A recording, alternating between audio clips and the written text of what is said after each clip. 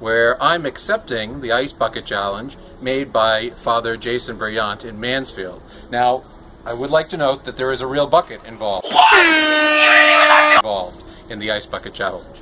Um, today I'd like to nominate in return uh, Paula Wilk from Plymouth, Jack Schrader from Sagamore, uh, Jeff Veerhoff from Virginia, and Matt Letourneau from Virginia to take up the Ice Bucket Challenge. And so here we go. Real bucket, real ice. Nigga, nigga, nigga, nigga, nigga, nigga, nigga. I'm 100% nigga. Nigga, nigga, nigga, nigga, nigga, nigga, nigga.